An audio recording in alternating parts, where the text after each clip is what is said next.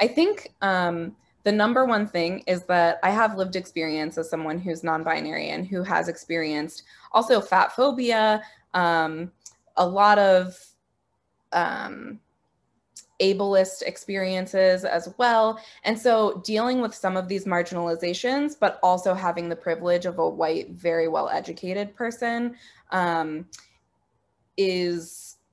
a really interesting place for me to be. And so um, I think I have some understanding, certainly everyone's experience is different, but some understanding of what it's like to live in a world that doesn't necessarily want me to be who I am, um, but also have all this privilege to then